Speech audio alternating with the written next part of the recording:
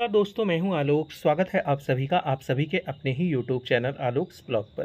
देखिए, देसी वाला एडेनियम भी अब खिलने लगा है। ये प्लांट मेरा, मैंने आप लोगों को दिखाया था कि बिल्कुल नेगलेक्ट मतलब करके मैंने रखा हुआ था और जब मैंने ऑनलाइन ये सारे ग्राफ्टेड एडेनियम मंगाए, उसके बाद मैंने इसकी केयर शुरू की तो धीरे धीरे करके ये ठीक हो गया। हमारे यहाँ बारिश काफ़ी लेट शुरू हुई है, जिसकी वजह से हो क्या रहा है कि एडेनियम के जो फ्लावर्स खिल रहे हैं वो जैसे ही बारिश पड़ती है, एक दो दिन में उनके ऊपर फंगस लग जाता है और वो फ्लावर्स ख़राब हो जा रहे हैं। और ये कंटिन्यूसली चल रहा है। आप देख सकते हैं मेरे प्लांट्स में कलियाँ खूब सारी बन रही हैं, लेकिन कलियाँ बनने से क्या मतलब? बारिश से पह, बारिश होने के कारण ये कलियाँ खिलने से पहले ही गिर जा रही हैं। तो अगर बारिश नहीं होती तो शायद एडेनियम में और अच्छे से फ्लावरिंग आपको देखने को मिलती। मैंने अपने कुछ इंडोर प्लांट्स यहाँ पर शिफ्ट किए थे। अभी मुझे एडेनियम मैं यहाँ से हटाऊँगा भी। सोच रहा हूँ कि गार्डन, क्योंकि गार्डन मैंने काफ़ी सारा जो है शिफ्टिंग की है। आप लोगों को देखने में पता चल रहा होगा, मैंने वहाँ पीछे की साइड में वो वो जो दिख रहा है मतलब ये मेरे उंगली के सीट पे, मैंने उधर कुछ शिफ्ट किया है तो सोच रहा हूँ अब ऐसे लंबाई लंबाई में रख दूँ, जिससे ये बीच का पोर्सन थोड़ा सा खाली रहे, क्योंकि विंटर भी आने वाला है और विंटर के अंदर अब काफ़ी सारे प्लांट नए लगने वाले हैं। जिससे वो अच्छे से लग जाएँ। मैं एक दो दिन में गुलदावदी के कुछ प्लांट की रिपोर्टिंग भी करूँगा। खैर, आज की इस वीडियो के अंदर मैं आप लोगों के साथ चार से पाँच ऐसे प्लांट शेयर करने वाला हूँ, जिन्हें अगर आप कुछ भी नहीं करते, उसके बाद भी ये मल्टीप्लाई होकर आपके गार्डन के अंदर ढेर सारे प्लांट्स में कन्वर्ट हो जाते हैं। तो सबसे पहला प्लांट है आपका ये चेन बास्केट का। चेन बास्केट का जो प्लांट है ये मेरा आपको वेरीगेटेड सा नज़र आ रहा होगा, लेकिन ये वेरीगेटेड नहीं है। मैंने इसी की कटिंग से देखिए पौधा तैयार किया और कितने सारे रनर्स इसके अंदर। ये देखिए, ये साइड में ये सारे के सारे रनर्स हैं। मैं सोच रहा हूँ अब इनमें से कुछ रनर्स ले जाके अपने स्कूल में लगा दूँ। क्योंकि तो इस वाले प्लांट में भी देखिए, ये इतने सारे रनर्स बन गए हैं। तो ये बहुत तेज़ी के साथ मल्टीप्लाई होने वाला पौधा है। अगर आप एक प्लांट लाकर लगाएँगे तो कुछ ही दिनों में आपके पास इस प्लांट की भरमार हो जाएगी। दूसरा पौधा है आपका बोट लिली का। बोट लिली एक सिंगल प्लांट मैंने ये छोटे पत्तों वाला अपने लैंडलॉर्ड के यहाँ से निकाला था करीब पाँच साल पहले। और ये दूसरा वाला प्लांट मुझे एक मेरे सब्सक्राइबर कम फ्रेंड्स ने गिफ्ट किया था। एक सिंगल प्लांट था। और अभी देखिए, इसका दूसरा पॉट भी मेरे पास तैयार हो गया है। पता नहीं कहाँ रख दिया मैंने।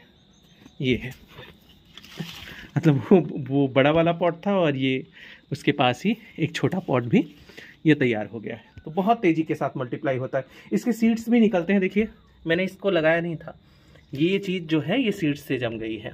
और ये देखिए, ये फर्न की वैरायटी है। ये भी फर्न है। ये भी एक फर्न है। मैं सोच रहा हूँ, अपने सारे फर्न यहाँ टेरेस पर, इसी कॉर्नर पर लाकर शिफ्ट कर लो। इसके बाद अगला पौधा है आपका एलोवेरा का। एलोवेरा भी बहुत तेज़ मल्टीप्लाई होता है। एक सिंगल मैंने पौधा निकाला था। मेरे पास पहले बहुत सारा था, फिर मैंने क्या किया, बीच में बिल्कुल ख़त्म कर दिया। लेकिन फिर मुझे बीच बीच में ज़रूरत लगती थी नेचुरल रूटिंग हार्मोन्स इन सारी चीज़ों के लिए। या फिर घर में लोगों को ज़रूरत पड़ती थी तो लोग कहते थे, इतने सारे पौधे लगाए, एलोवेरा नहीं लगाया।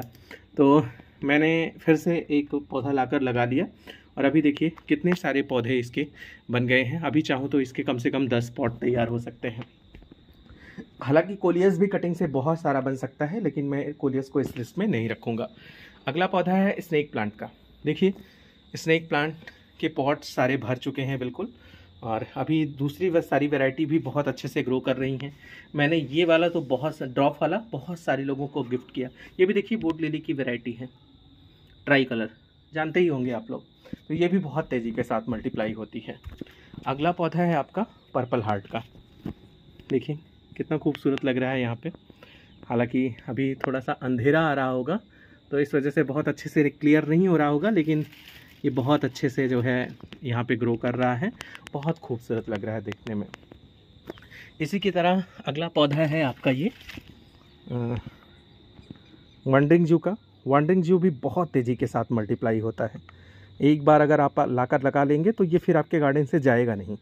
इसकी मेरे पास दो वैरायटी है, मैंने एक शॉर्ट वीडियो में आप लोगों के साथ इस चीज़ को शेयर भी कर रखा है।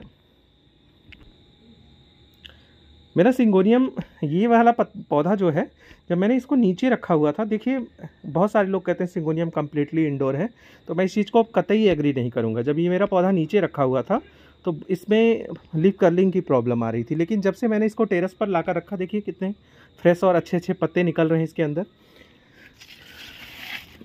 यहाँ पे ये मैंने इतने सारे पौधे एक साथ यहाँ पर रखे हुए हैं।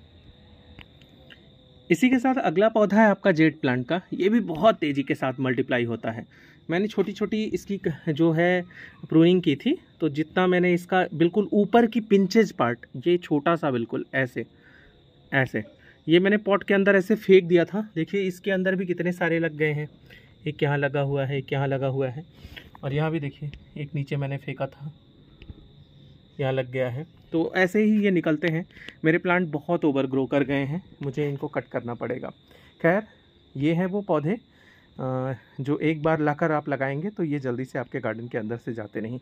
इस वीडियो को यहीं पर एंड करते हैं। मिलते हैं आप लोगों से किसी नई वीडियो में। तब तक के लिए बाय एंड टेक केयर